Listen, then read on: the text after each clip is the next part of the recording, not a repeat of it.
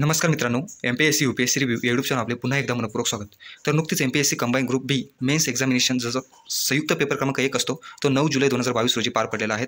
आपण या व्हिडिओच्या माध्यमातून जे संयुक्त पेपर क्रमांक एकमध्ये करंट अफेअर्सच्या रिलेटेड जे क्वेश्चन्स आले होते ते आपण या व्हिडिओच्या माध्यमातून बघणार आहोत.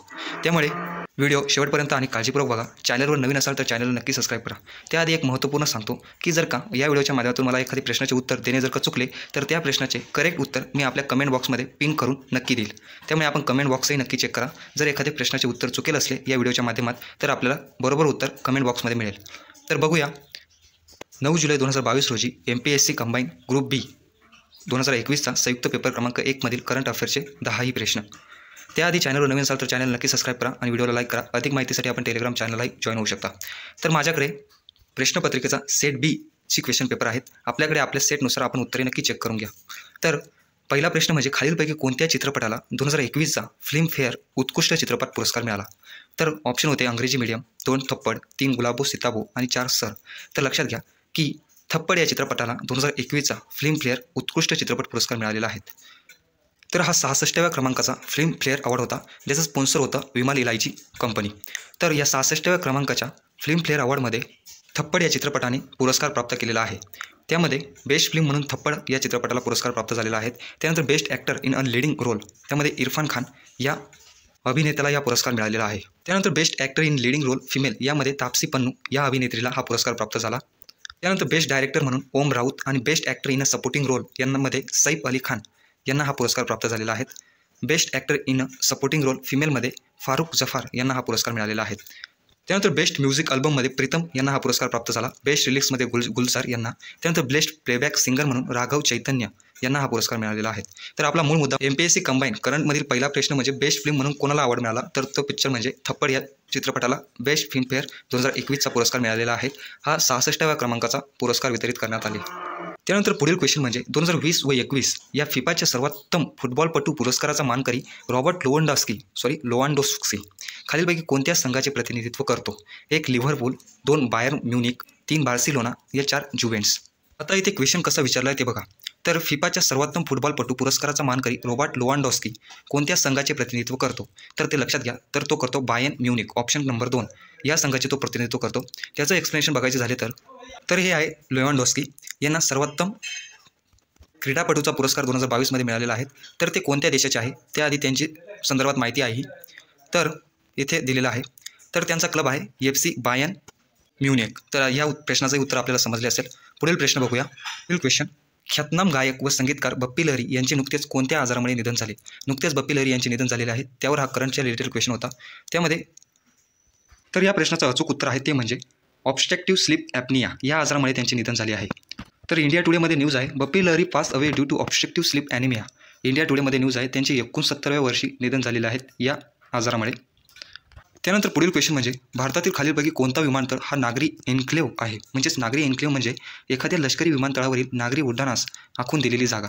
त्यामध्ये ऑप्शन चेन्नई आंतरराष्ट्रीय विमानतळ दोन जयपूर आंतरराष्ट्रीय विमानतळ तीन गोवा आंतरराष्ट्रीय विमानतळ आणि चार कोझिकोडे विमानतळ कलिकत. तर मित्रांनो माफ करा. मला या प्रश्नाचं उत्तर मिळालेलं नाही. आपल्याला जर या प्रश्नाचं उत्तर मिळालेलं असेल तर नक्की कमेंट बॉक्समध्ये या प्रश्नाचं उत्तर द्या. मला या प्रश्नाचं कन्फर्म उत्तर माहीत नाही परंतु मला चेन्नई गोवा जयपूर आणि कोझिकोडे विमानतळ यामधील बरोबर उत्तर तुम्ही नक्की कमेंट बॉक्समध्ये सांगा. आपण पुढील प्रश्न घेऊया. पुढील क्वेश्चन दोन हजार बावीसचा ऑस्कर पुरस्कार सोहळ्यात सर्वोत्कृष्ट अभिनेत्रीचा सन्मान खालीलपैकी कोणास प्राप्त झाला आहे? तर या प्रश्नाचं अचूक उत्तर आहे ते म्हणजे जेसिका चेस्टन. या अभिनेत्रीला सर्वोत्कृष्ट अभिनेत्रीचा सन्मान प्राप्त झालेला आहे. तर ऑस्कर दोन हजार बावीस जेशिका चेस्टन या बेस्ट ॲक्ट्रेस ठरलेल्या आहेत दोन हजार बावीसमध्ये तर हा चौऱ्याण्णव क्रमांकाचा ऑस्कर अवॉर्ड दोन हजार बावीस होते. त्यामध्ये जेशिका चेस्टन आणि आणि विल स्मिथ हे बेस्ट ॲक्ट्रेस म्हणून निवडले गेलेले आहेत. त्यांना हा पुरस्कार प्राप्त झालेला आहे. त्यानंतर पुढील क्वेश्चन म्हणजे टोकियो दोन हजार बावीस ऑलिम्पिक स्पर्धांमध्ये पुरुषांच्या भालाफेक स्पर्धेत सुवर्णपदक मिळणाऱ्या नीरज चोप्रा यांचे Laureus world breakthrough of the year award दोन हजार वीस सॉरी दोन हजार बावीससाठी नामांकन झाले होते. पण प्रत्यक्षात ब्रिटिश टेनिस क्षेत्रात खळबळ माजवणाऱ्या टिंबट टिंब यांना तो पुरस्कार मिळाला. आता इथे लक्षात घ्या ब्रिटिश टेनिस क्षेत्रात खळबळ माजवणाऱ्या पार आयोगाने आपल्याला उत्तराजवळ नेऊन ठेवलेले असते परंतु आपल्याला ते उत्तर सापडत नसते. तर लक्षात घ्या की नीरज चोप्रा यांना नामांकन मिळालं होतं Laureus world's breakthrough of the year award दोन हजार बावीसच्या पुरस्कारामध्ये परंतु हा पुरस्कार त्यांना प्राप्त झालेला नाही. तर तो झाला आहे ब्रिटिश टेनिस क्षेत्रात खळज सॉरी खळबळ माजवणाऱ्या एम्मा राडू कानू जे की यू केचे आहे टेनिसमधील. त्यानंतर Laureus world team of the year Italy या पुरुष फुटबॉल संघाला मिळालेला आहे हा पुरस्कार. त्यानंतर Laureus world comeback of the year Sky Brown जे की यू केचे आहे ते स्केटबॉर्डिंग या खेळात त्यांचं उल्लेखनीय नाम आहे. तर आपल्या प्रश्नाचं उत्तर म्हणजे Laureus world breakthrough of the year Emma Raducanu यांना मिळाला आहे हा पुरस्कार. त्यानंतर बाकीचे बघायचे झाले तर Laureus world action sportsman's of the year Bethany Shriever जे की यू केचे आहेत. त्यानंतर Laureus world sportsperson of the year with disability Marcel Hug. Laureus sports for good award last boys Inc baseball यासाठी मिळालेला आहेत. त्यानंतर Laureus sports for good society award Real Madrid जे की स्पेनचे आहेत फुटबॉल क्लब. त्यानंतर Laureus life time achievement award आणि Laureus athletic advocate of the year award Gerald Asamoah जे की जर्मनीचे आहे. अशा प्रकारे हे लॉरियन्स पुरस्कार विजेते आणि त्यांची श्रेणी दिलेली आहे.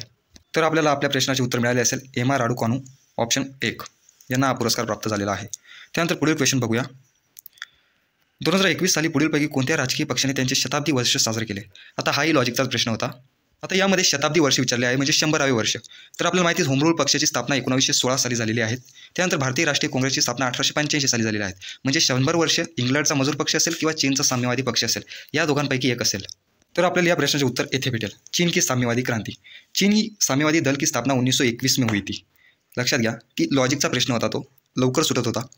दोन हजार एकवीसला शंभर वर्ष झालेली आहेत. म्हणजेच त्याची स्थापना एकोणीसशे एकवीसला झालेली असेल. तर तो पक्ष म्हणजे चिनी साम्यवादी दल.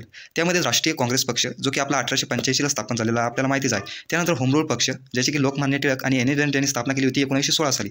त्यामुळे त्यांना शंभर वर्षाचे हे आपल्याला सुचायलाच नको होते. अपन चीनी साम्यवादी दल की स्थापना उन्नीस सौ इक्कीस में हुई थी. सन एकोणीसशे एकोणपन्नास में चीनी साम्यवादी दल का चीनी चीन की सत्ता पर अधिकार करने की घटना चीनी साम्यवादी क्रांति कहलाती है. चीन में उन्नीस से उन्नीस तक गृह युद्ध की स्थिति थी। इस गृह युद्ध का द्वितीय चरण साम्यवादी क्रांति के रूप के में सामने आया।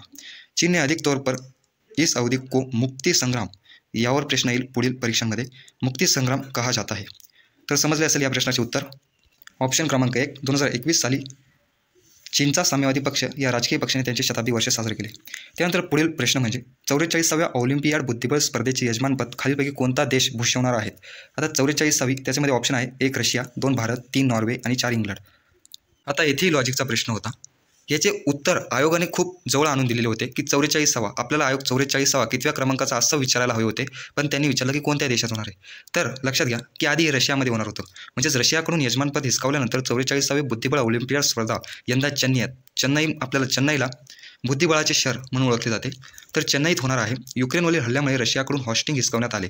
चेस ऑलिम्पियाड दोन हजार बावीस चेन्नई येथे अठ्ठावीस जुलै ते दहा ऑगस्ट दरम्यान होणार आहे. म्हणजे याच महिन्यात ही स्पर्धा होणार आहे. आधी होणार होती रशियामध्ये आता होणार आहे इंडियामधील चेन्नई येथे.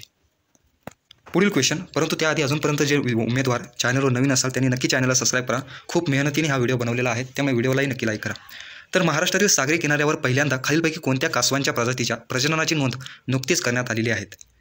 याचे उत्तर एकदम सोपे होते. जर का जे उमेदवार करण किंवा लोकसत्ता हा न्यूजपेपर वाचत असाल त्यांना हे उत्तर जमलेच पाहिजे होते. तर याचे उत्तर होते ते म्हणजे तर त्याचं उत्तर होतं olive ridley turtle.